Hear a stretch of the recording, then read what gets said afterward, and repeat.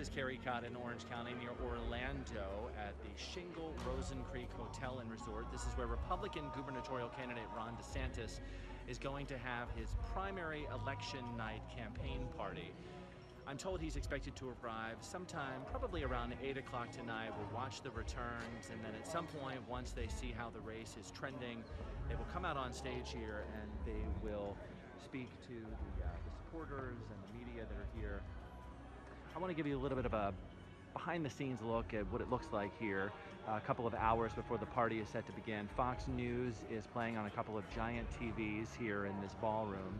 The stage is set, you've got the American flag on one side, you've got uh, the podium where DeSantis is going to come out and speak to his supporters, obviously the state of Florida flag. And then over here, a uh, short distance away, behind sort of the pit where uh, DeSantis' supporters will be throughout the evening, is the press pen. This is where uh, rows and rows of media are. There's a large riser here where all the media is jockeying for position.